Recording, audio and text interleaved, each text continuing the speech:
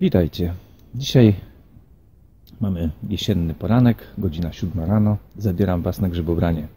Jaki będzie wynik, zobaczycie na końcu. Na razie.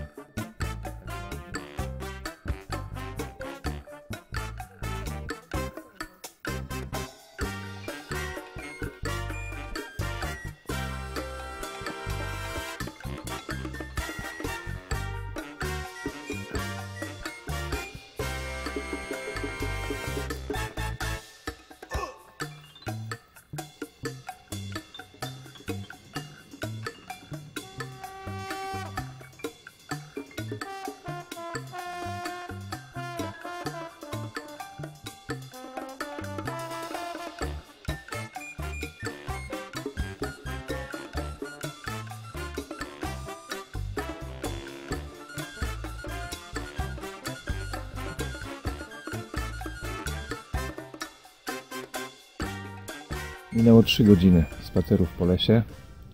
Troszkę mi się udało znaleźć, jak zaraz Wam pokażę.